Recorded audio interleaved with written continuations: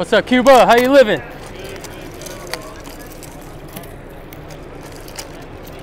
Same, man. Glad you can make it. Mic check, mic check. Can everybody hear me okay? guys at the top, all the way in the back, front row, we're good. Thank you guys for joining me again. Some of you uh, were here earlier for my pr first presentation on the secrets to trophy bass fishing and hopefully you guys got some good insight from that. We're gonna have a little bit more fun now and kind of take it backwards. We're gonna talk about fundamentals of fishing uh, to its most fundamental level. So those of you guys that aren't familiar with who I am, my name is Oliver Ngy. I hail from the West Coast and I make a living going to new bodies of water, trying to catch as many and the biggest fish that I can come across. And it's a, it's a really unique opportunity for me to come back through this part of the country. I've utilized techniques with this very bait here actually, with success in New Jersey and New York with bass. Uh, and really what sets me up for a lure like this is a lot of the fundamentals. Okay, this is something I feel the, the fishing culture recently ignores and overlooks and the importance of it. So we're just gonna go through some smaller uh, lure styles that lead to hopefully you guys chasing and living big bass dreams of your own. Okay, this is a big bait to most people. It can be very, very intimidating, especially if you showed this lure to a, a young version of myself I mean, I was a dreamer, but I also would have thought you were crazy and full of it if you're telling me you're trying to catch a bass out of my local lake. People have this perception that the grass is always greener on the other side because, man, where I fish is tough. Like, it gets hammered by tournaments. It sees a lot of pressure. I've been fishing for 20 years. I've never seen one over seven pounds, whatever it is. So that must mean that it's easier where I'm seeing fish catchers on social media. Oh, California's got to be better than New York, Texas, Florida. But the funny thing is, I tow a 20 foot bass boat all the way from LA to come fish your greener grass. So it, it, think about that for a second. The fact that your fish aren't seeing this on a consistent basis really leaves that door wide open for someone like me or some of the guys in this region who are starting to catch on and see success. But the biggest, biggest factor that leads to those hero moments that you guys may be watching on the Big Bass Dreams channel or my own personal YouTube channel, uh, they're all cemented in fundamental bass fishing techniques, okay?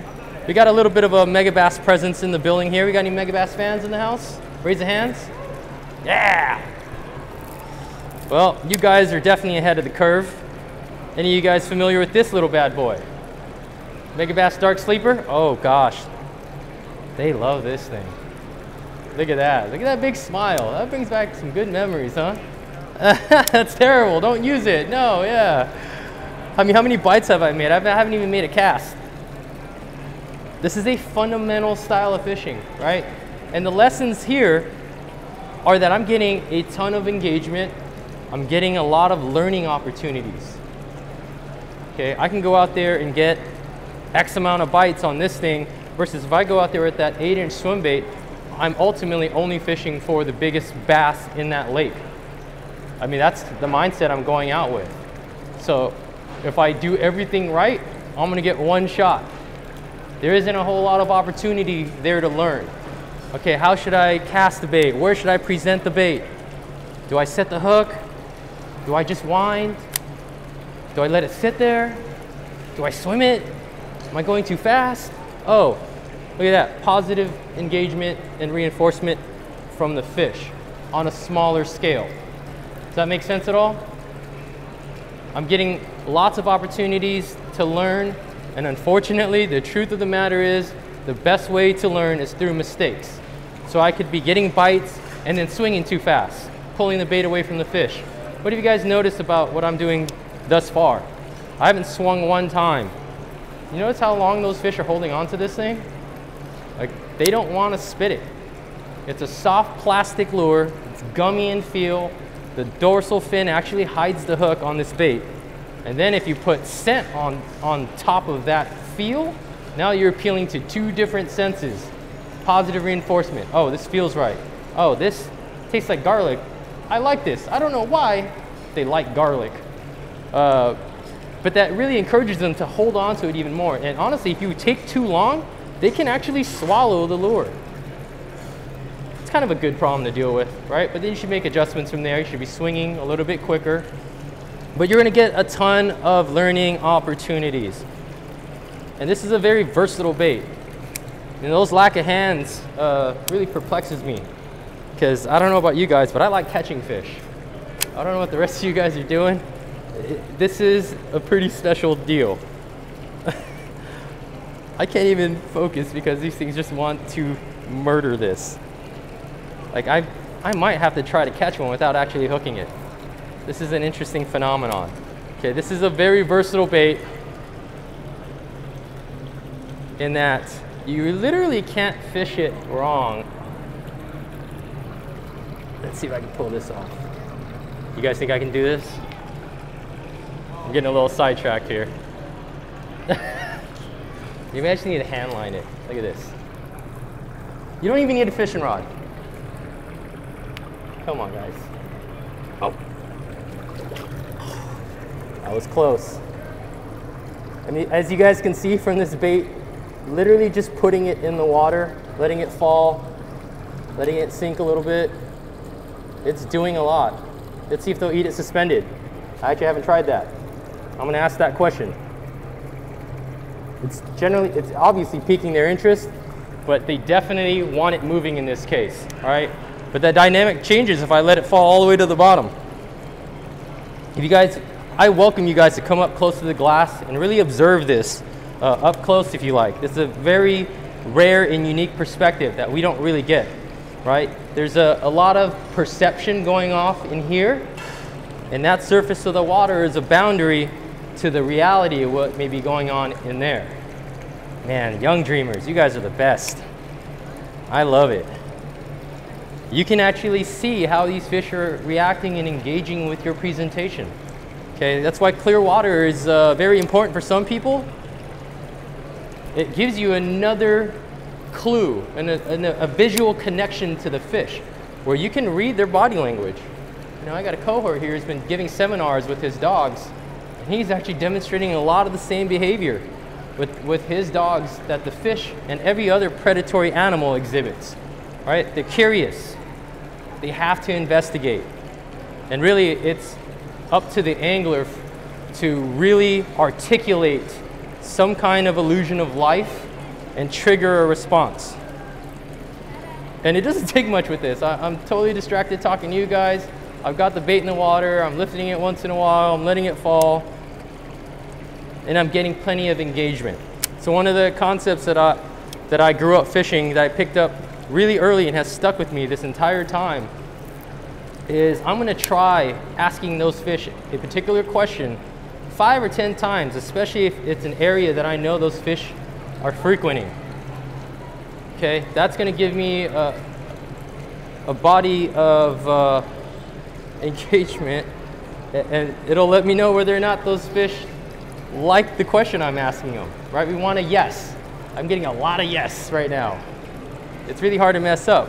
But if I'm not getting that kind of engagement, let go, let go. Okay, I could be trying my first set of questions. Let me see if I just wind this thing as soon as it hits the water.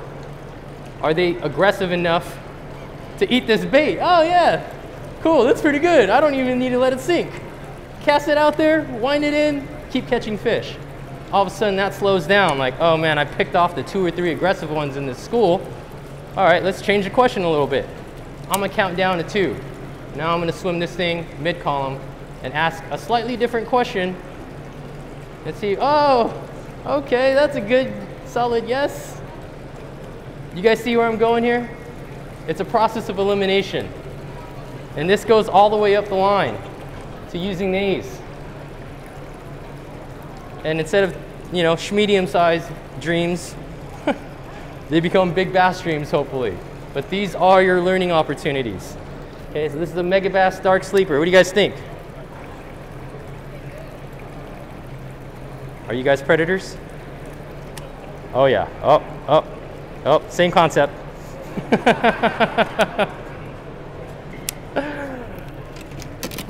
And if you guys notice the way that I was fishing that thing, you can literally take all of those same lessons that we discussed and hopefully that you're learning from and upscale it. All right, you got an eight inch soft bait, gummy, covered in scent. I use Bass Dynasty so that when I do get that one biggest fish in the lake, and that could be daunting if you're fishing Lake Ontario or Cayuga or Champlain, but that's the mindset I'm going out there with, guys. That's the difference. I'm really looking for that one split second mistake and I need to capitalize on it. So whether that fish eats it with a solid thunk or if it just gets mushy and I can recognize that mushy, spongy pressure bite. Are you guys familiar with that term, a pressure bite? Where you're not getting that telltale tick or thump and you just go like lift on your bait and you're like, nah man, that, that doesn't feel right. Well, you'll recognize that a fish has already got your bait.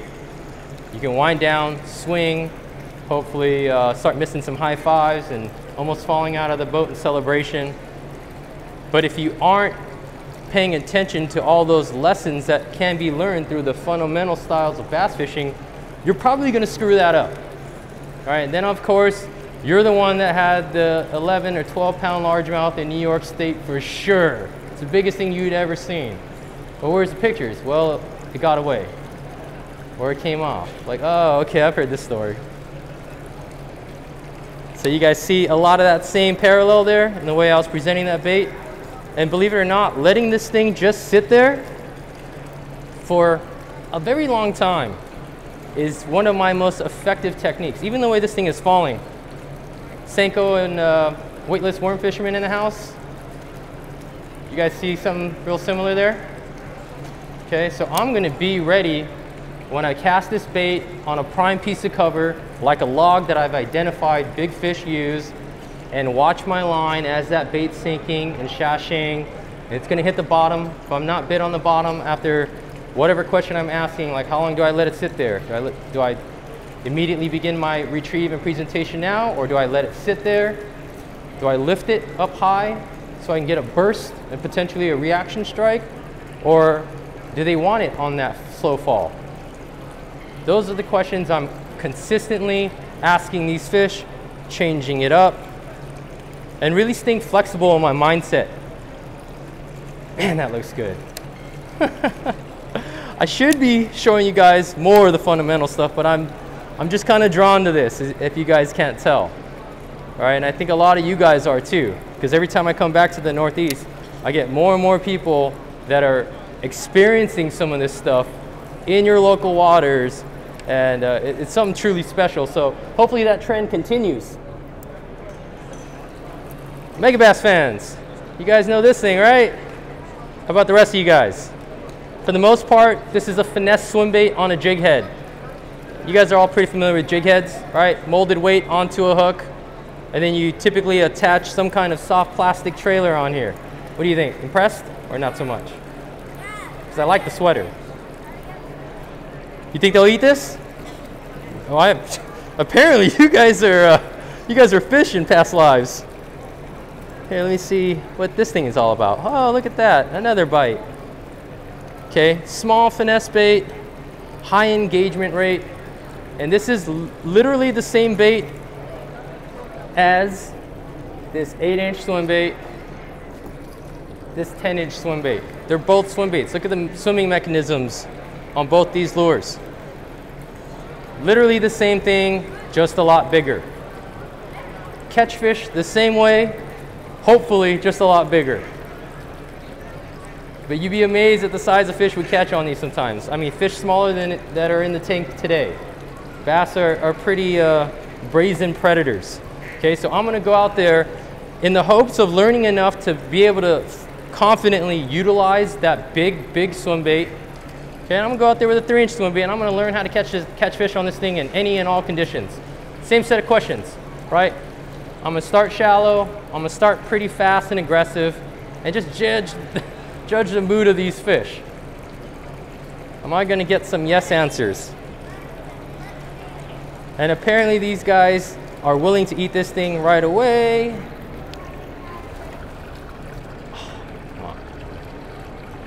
If I had some sense, I definitely could pull this off.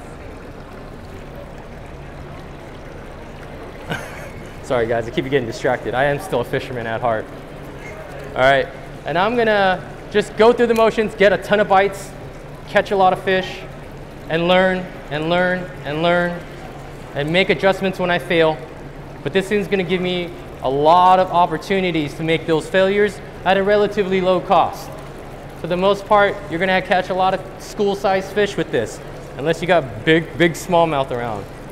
We've caught a vast majority of our five plus pound, six pound, seven plus pound smallmouth on this diminutive uh, little lure. So you, once in a while you can get elephants to eat peanuts, but for the most part, you're playing a numbers game. It's gonna appeal to a wider size range of fish, so you're gonna catch a lot of the smaller ones, but I mean, that's kind of a good problem to have, right? Having to weed through too many two to six pound fish. My man Vinny, you know what's up. so I'm gonna just go out there, have fun, and but pay attention to all the details and the mechanics, right? Man, should I be swinging and setting the hook on this? Well, I don't know, try it. How does that work out for you? Oh gosh, there was one right there. Typically for me, this is a wind set.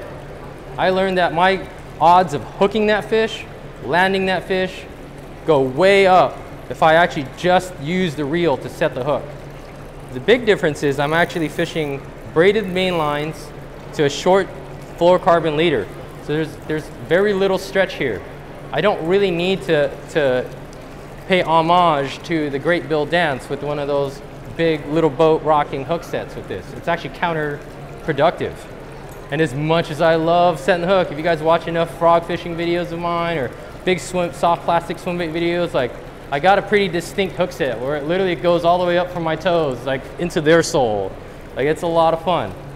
But more, more than that sensation and feeling, I like catching that fish even more. So there are scenarios that I'm taking experience from, like this little guy, or fishing a smaller hard bait that translate all the way up to the big scale. So I'm kind of bummed that they uh, scheduled my seminars in reverse today because I actually kind of like building you guys up with this stuff and then showing you guys the, you know, the real trophy mindset stuff. But honestly, it's kind of the same thing to a degree.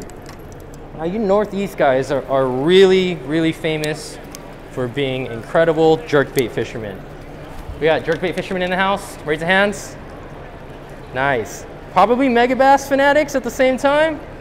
That doesn't take long for that to, to develop. My man Q in the back. Drove four hours all the way to get here, man. I appreciate you guys.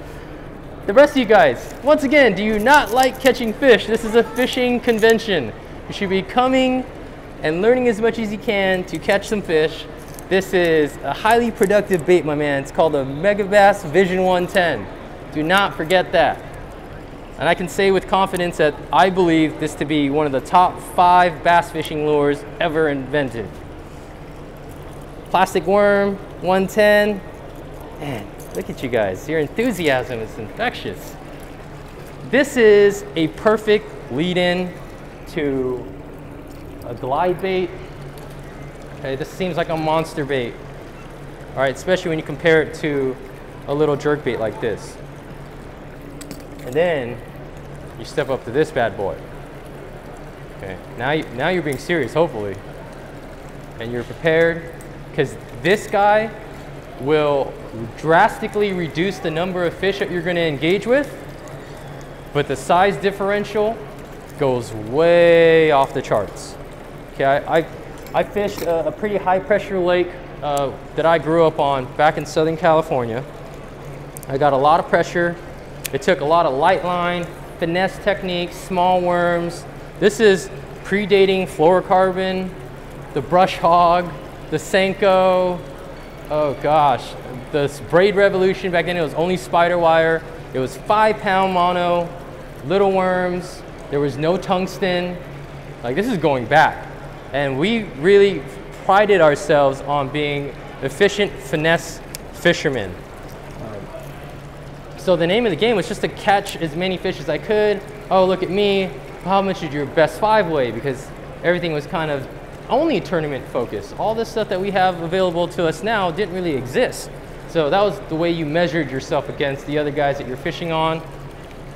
And as many hundreds, maybe thousands of fish that I would catch, I can remember on one hand how many largemouth, even in California, that I caught that were over six pounds.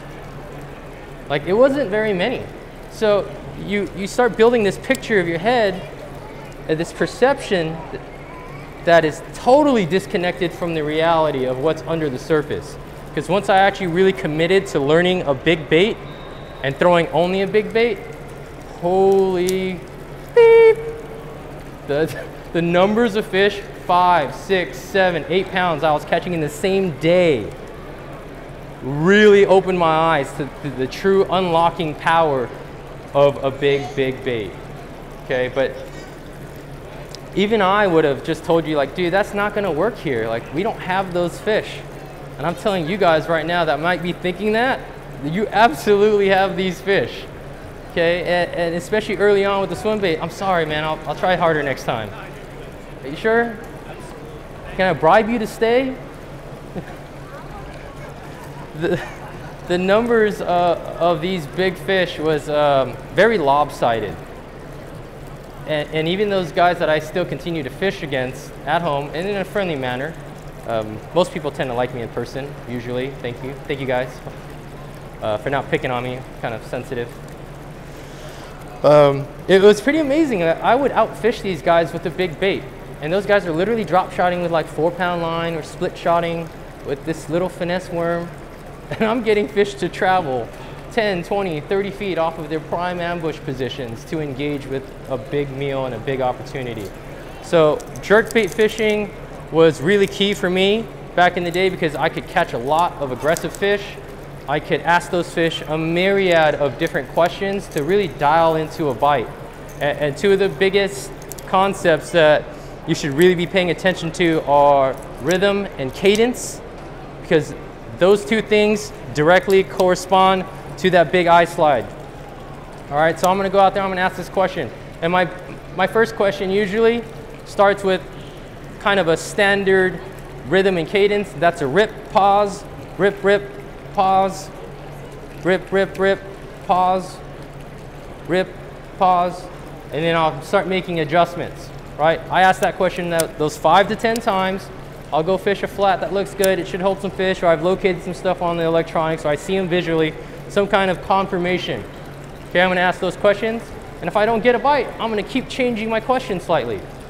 Some days it's like, man, do you think they'll eat it on just a straight twitch, twitch, twitch, twitch, twitch?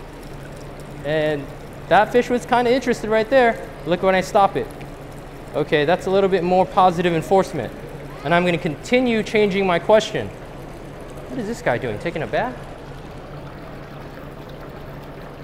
Maybe they want it in the current. Maybe that white water is a key to trigger him to bite because of the lack of visibility. But the the versatility in how you can present this bait is its greatest strength. And we used to be kind of limited in the jerk bait styles and models. Thankfully, it's 2020.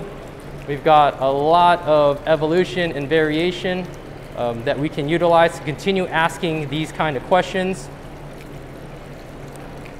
All the way down to different color finishes, diving depths. Oh, hook up. Anybody ever do that before? I've done it when I've hooked up to a fish, jumping up and down on the deck. It happens. For some reason, that question or that series of questions I was asking didn't generate the yes. So what am I gonna do? I'm gonna use a snap to quickly change, not stand up here awkwardly trying to retie like I was yesterday, just like I am in the water, and keep a bait in the water. And I'm gonna ask a slightly different question.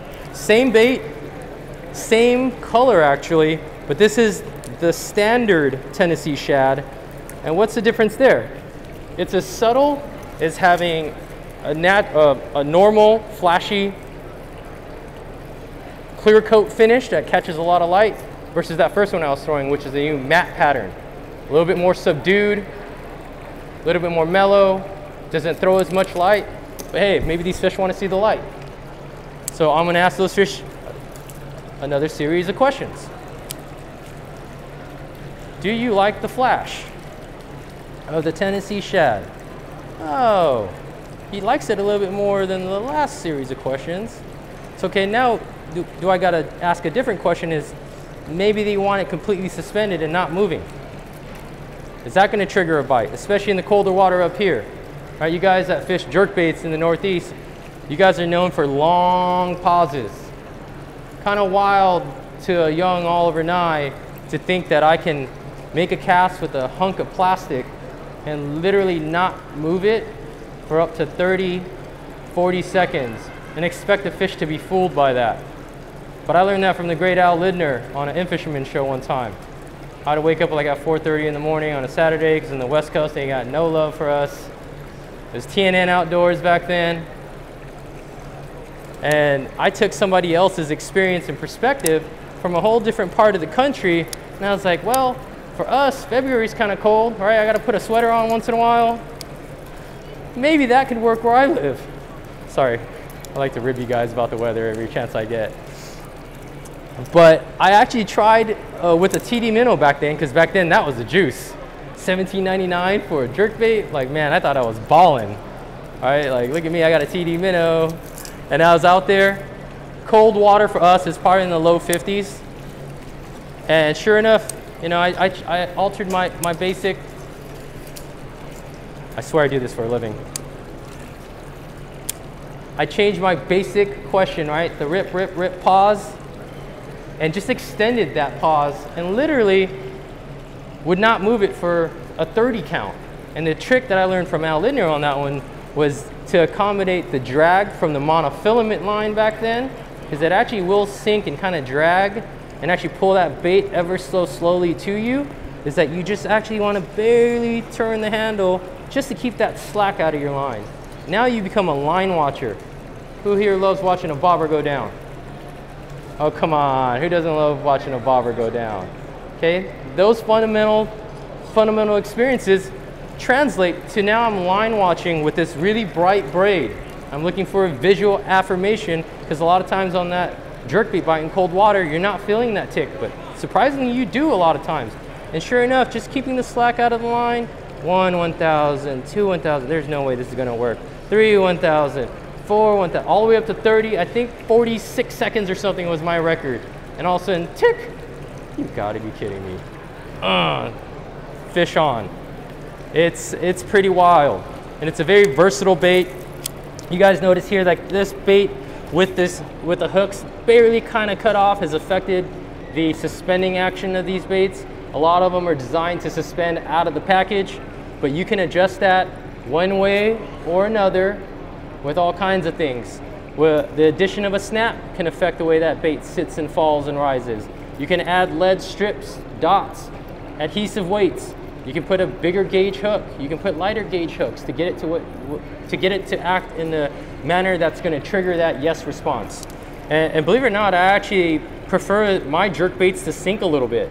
Like I don't really care too much about a truly suspending bait because I feel I'm able to present this lure that is gaining quickly in popularity because people are starting to see the power of the jerk bait and the 110 in particular, especially if you're fishing against a buddy that's got one. Like, man, I better get on that train because it's starting to catch some fish. My, those fish are being conditioned. All right, bass fishing is a very unique activity in that these fish are getting multiple opportunities to learn with us. Every time they make a mistake, we abduct them from their homes temporarily, throw them in our bass boats, take pictures for the gram, and then release them and expect them to get bigger and, and want to, you know, join that party all over again. Gets a little, little taxing on them, so they become more timid now that range where they're used to seeing jerk baits now isn't as effective as before. So I can take either a sinking version of that that I've modified by myself or just a stock bait in a plus two, which is designed to dive up to 12 to 15 feet. Now we got a, a whole new zone that these fish potentially haven't been accustomed to seeing this bait, and I'm catching them all over again. I'm really surprised that these fish up here haven't been crushing this thing every cast. You can trigger a lot of reaction strikes from these fish. Generally, the warmer the water, the faster I can get away with going. See how wild that action is? Literally, I could probably do this enough to just start pissing them off and they're gonna strike it out of aggression and anger. Like that's a real thing. Like that's a real thing. I'm gonna be that a kid that just asks all those annoying questions over and over and over. And really, actually, the adults are probably more guilty of that than the kids are. But you can trigger and elicit different kinds of strikes from fish. When fish are hungry and they're feeding, they're frankly not that hard to fool. Like just about anything will work within reason. Uh, the feeding response is an easy one to trigger, but it's really the rest of that fish's day where it's a challenge to get them to open their mouth on it. And the fact that they don't have hands or feet to attack something and they're left with utilizing their mouth opens up a whole new bevy of ways to trigger a strike. Literally, you can annoy the crap out of these fish, especially these very territorial fish, especially these bigger dominant fish. Okay, you can get in their face, you can uh, throw the brightest colors. Have you guys seen like some of those clown colors? You guys familiar with that color? Um, I don't have one with me, but it's like a bright chartreuse, orange belly, red head, white sides. It's just loud. It's literally, literally looks like a clown. And they're definitely not eating that thing out of hunger, in my opinion, because it doesn't match the hatch. It doesn't look like anything natural in the water, but it's a big, loud presence, and they just got to kill it. It works especially well in the spring. What are these fish doing in the spring a lot of times? They've got a defensive behavior of guarding their nests. Okay, so whether or not you actually see that fish, a lot of those spring fish you're catching on these reaction baits and loud, obnoxious baits are actually bedfish defending their nests. Just because you didn't realize that it was sitting on a bed and guarding it doesn't mean that you're not going through and actually catching those same fish. But you can be efficient and just cover a lot of water and fish this thing fast like you saw me do. Just rip, rip, rip, and go down the bank and, and, and really eliminate big stretches of unproductive water, but quickly hopefully find good stretches, small stretches of water that are holding the fish. I rely on these three lures heavily when I'm trying to piece the puzzle of a new body of water. And then from those learning experiences that I'm still going through now, I can then upscale. It's like, okay, they tend to like the grass on this lake. That lake, man, they really relate to the wood. So I can kind of focus my efforts in those right locations. It's, it's really uh, an ever-changing puzzle. That's what I feel makes fishing really, really special. The learning never stops. And just when uh, we all figure that we got it figured out, you go out there, super pumped, invite your buddies, hire the cameraman. I got this thing dialed. We're gonna shoot an epic day of fishing and go out there and catch absolutely nothing. Happens all the time. Because we, what, we, what we don't realize is those external factors that are affecting the uh, behavior of these fish, it's always changing. You can't fish the past, you can't fish what happened last weekend, you can't fish your 25 to 30 pound bag that you shook off uh, the day before the tournament because something changed. And one of those big changes that people don't account for it could be as simple as something as moon phase. Right? Literally the moon phase is never the same. So you should be going into every fishing outing with an open mind, using high engagement lures to get as much of that information as possible, and then make, uh, make better decisions. And right now I'm using my experience from the last day and a half here of being on this tank to realize that if I throw that i-Slide without an adjustment, it's probably gonna sit a little too high for number one, you guys to see it working, and number two, get it in that middle to bottom zone where these fish are really responding to all this fake stuff I'm throwing at their face. So I'm actually gonna take this little pinch on weight here, and you can find a bunch of dope little knick-knack accessories at uh, Lee's Global Tackle. They're a leading importer of JDM, just custom like doohickeys, like this little grenade shaped weight. I can literally just clip it onto the bottom of this bait here. And now, actually I should just show you guys without the, the weight, what it does. Uh, you're probably gonna have a hard time seeing a demonstration right now, right? And for the most part, those fish aren't really responding to that right now. It's still kind of cold. They're not super aggressive unless you're throwing an Okashira screwhead. So I'm actually just gonna make that adjustment on the water, put a clip, and see. I don't even know. Yeah, enough to get it to sink. I'm sorry? Oh, the question is, what am I clipping the weight onto? It's just the, the belly hook hanger. See how quick of an adjustment that was? Pretty easy, right? But now I can get this bait down to a zone. Uh, some of you guys aren't as young as the other ones. You guys remember the old countdown series of Rapalas? Okay, that's a concept that, that people don't even talk about or acknowledge or understand. I'm doing the same thing with those small jerk baits. I'm putting heavier hooks on them, and I'm getting this same effect of taking a suspending bait and actually getting it to sink. So I'm actually fishing spots a lot of times behind people, and I'll go behind these guys, racking them on the jerk bait. I'll count it down past where I know their suspending baits aren't getting to. Now I'm exposed my bait to a whole new demographic of fish. And I'm doing that all the way up to all these glide baits too. Okay, so cadence and retrieve, None, of this is my tackle, that's my excuse. Okay, I'm gonna sink it down, count it down. I'm gonna play with that rhythm. One glide, pause, two glides, pause, three glides, pause. And actually, I was hitting it way too hard there, especially with this braided line. Not, I don't have the stretch that I normally have. Oh boy. Oh boy. Here we go. What are you doing? Musky fishing? No, man, I'm bass fishing. What are you doing? You guys see this similar? Oh boy. Come on, just do it. Just do it. Be a hero. Get it before your buddy does. I'm keeping that fish's attention on the bait and not on the fact that this weird kid from California is twirling an eight inch piece of plastic over their heads. You'd be amazed at how much you can get these fish to focus on this thing and ignore everything else. Two of them ate it like that yesterday here. You guys missed it. It was pretty cool. But those lessons that I learned from that fundamental jerkbait fishing co totally come into play. And even now, I'm able to get a positive response to get you guys even more intrigued by making that little adjustment, asking a slightly different question. And actually, I can fish this bait a lot faster too. At first, when I first started fishing this bait, I honestly didn't kind of like it because I felt like I had to fish it super slow because of its floating nature. And, I, and with this simple modification, and the modifications can be endless.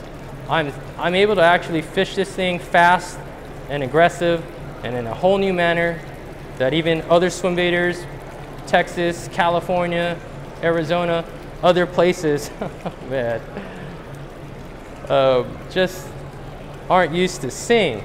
And here, here's, some, here's some food for thought, guys. Most predator fish are fully capable of eating a prey item one third their body size.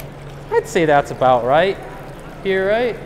Got pound and a half to three pound fish, seven and a half inch bait, that's roughly a third. They have no problem eating a big bait or what many of us consider a big bait. Get that out of your heads. These things are eating each other, juvenile bass. Uh, here's a question to ponder. Anybody in here ever see a little carp? Really? I never see little carp. And I surmise that the only reason you see big ones is because all the little ones get eaten. They're slimy, so they probably slide down the gullet a little bit easier. They don't have any spines. I got my man all the way from Britain. A lot of carp fishing there, right? Good thing you guys don't have bass, because a lot of your carp probably wouldn't make it to those monster sizes.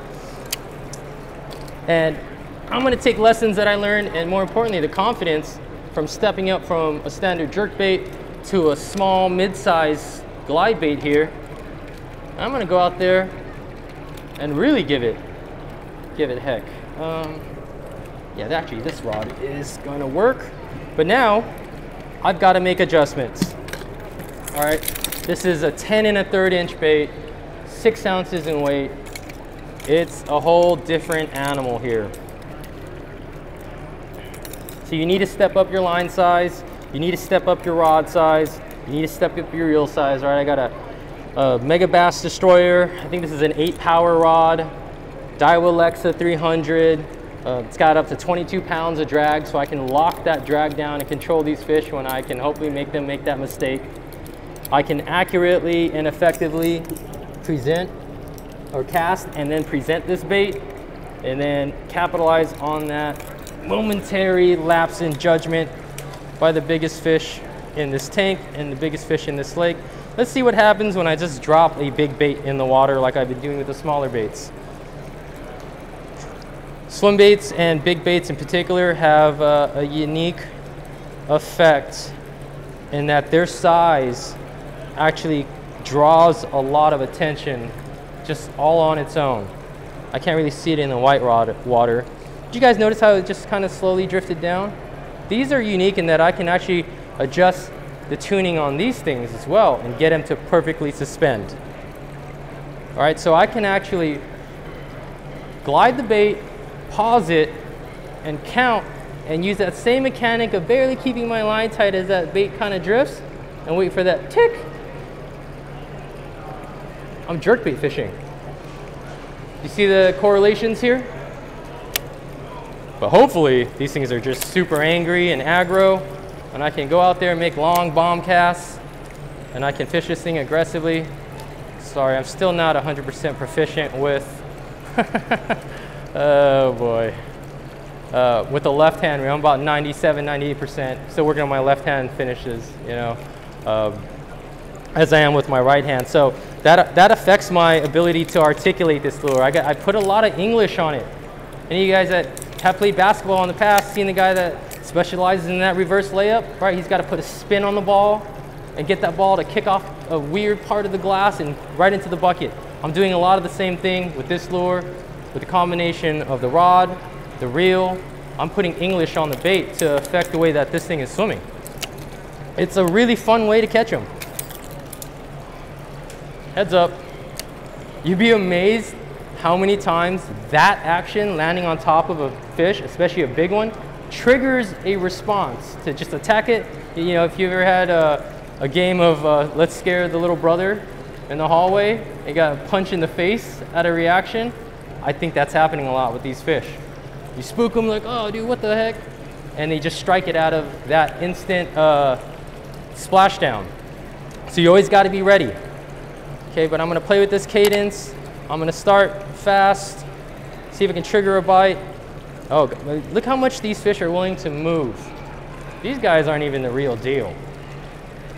I've watched big, big bass come 10, 20, 30 feet that's not embarrassing at all. To, to come get one of these baits. Okay, maybe there's a learning opportunity here. Is there any fish coming up to investigate this commotion? Dang it. I had a pep talk with these guys before the show. Apparently they're not on board anymore. Well, typically what happens when you're snagged, hopefully below the surface, is that flailing frantic action is creating noise, it's creating a disturbance, and it's drawing the curiosity of these predators. So I'm, even now, I'm in no big hurry to run over there and unstick this lure, even though it's a super expensive bait and I'm worried about losing it because I've understood from a lot of those fundamental mistakes with the smaller bait, when I get hung up, that bait's still flailing around and I'll probably demonstrate it with that little dark sleeper. When you're snagged and you're doing all of this, man, that bait's acting really peculiar. It's, it's really um, appealing to that sense of curiosity. And how many of you guys have had the experience of being snagged and doing this only to have it turn into a fish all of a sudden? Yeah, isn't it cool? Those are like bonus fish, right? I used to think of them as bonus fish, but the learning opportunity there was, well, if that's how I'm triggering bites, why don't I try getting snagged on purpose? Hmm. And I was able to do that because I was um, smart enough, I hope, to buy two different lure retrievers. One on the telescopic pole, $54.99 for on Amazon, free shipping, get Prime, it's worth it. Um, and then a rope string, uh, rope lure retriever that I can drop past that 15 feet. Between those two, I'm getting 95 to 98% of my lures back. So I can actually afford to be that brazen and put that bait in, in, in harm's way and really expose myself to a high percent. Oh, look at that. About time. Thank you.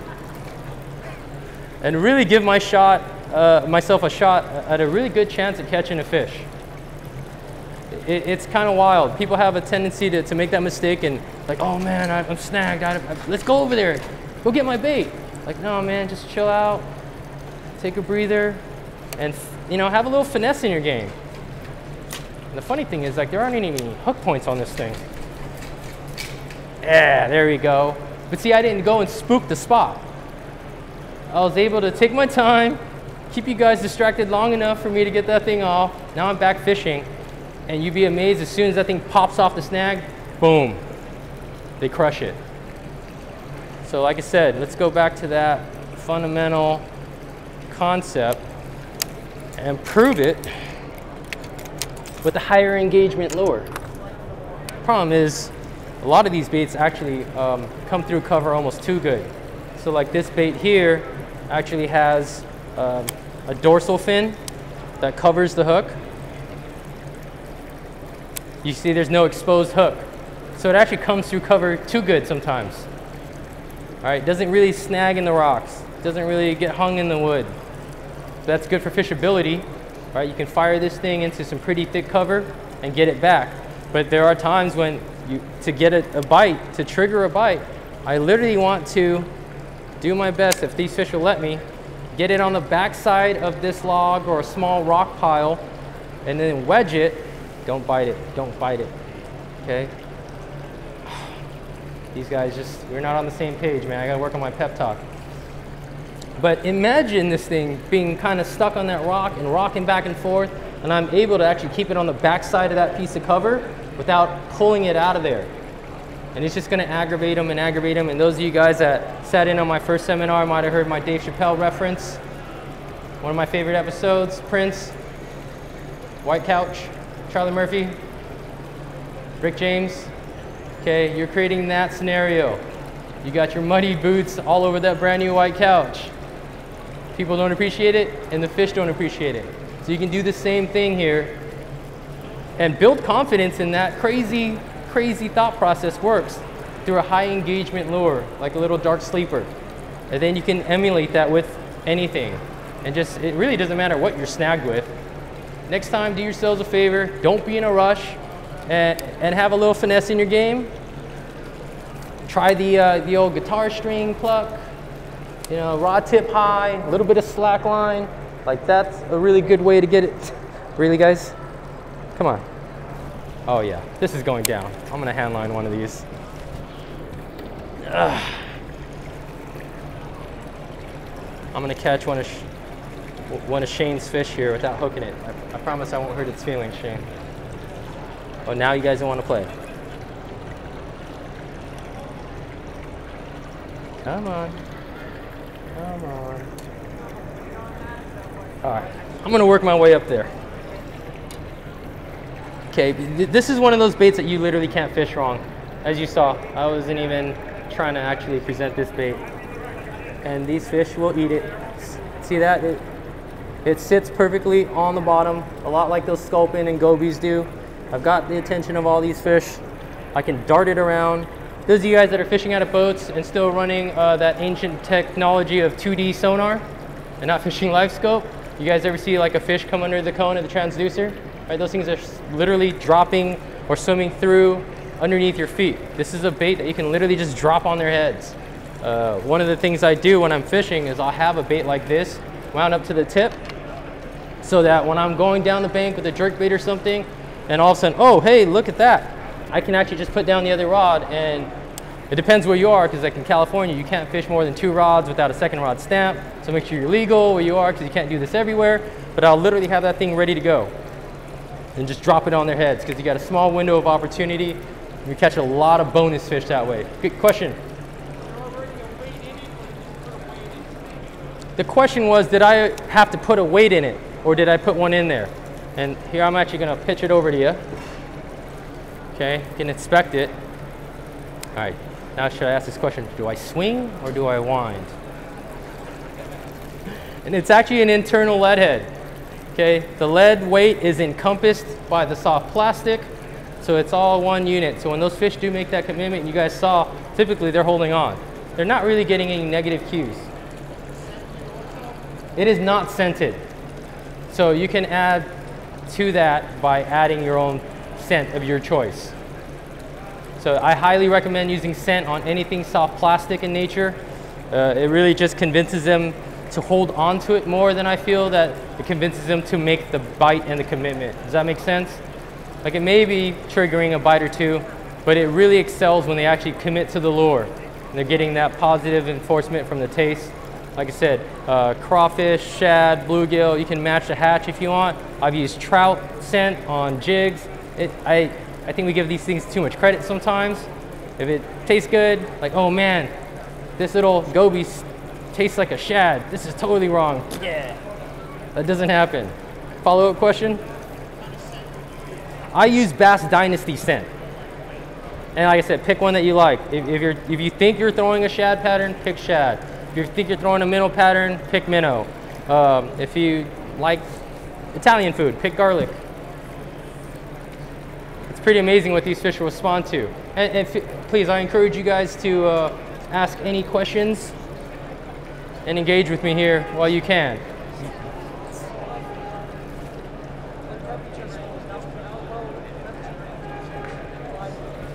Uh, man, you know, Justin Pirelli, I, I want to make sure I understood the question again before I answer it. Okay, so the question is, what is the lowest temperature range uh, I've effectively fished a glide bait? And it's funny because after I shown the Pirelli boys a little glimpse of this in like late fall, uh, they kept continuing to fish into ice. And I got that exact same question. Say, hey man, like how do you present a glide bait in 37 degree water? I'm like, bro, I'm California, I don't know. We don't get 37 degree water. So he had to go out there and take a little bit of the insight I showed him and have to put in the hard work and figure it out himself, right? And ask those bevy of questions and just try. But I believe uh, 37 degrees. Was that correct, Aaron? Was the coldest that he was actually able to catch a glide bait fish on? Okay, so like high 30s. Seems pretty cold to me. So excellent question. Um, you got a question? You're just stretching. I knew you were stretching. It's all good. Uh, anyways, if you guys haven't already, please subscribe uh, to the Big Bass Dreams channel. I started my own channel as well.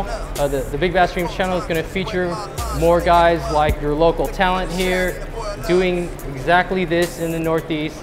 There's a, a ton of content that we've been able to capture and thankfully share with you guys. Uh, hopefully if I come back next year, there will be more success stories that may have stemmed from your time spent with me today. Uh, and if you're a little shy, come up and ask these questions uh, in the privacy of a one-on-one -on -one interaction. My name is Oliver Ngy. Thank you guys for uh, stopping through.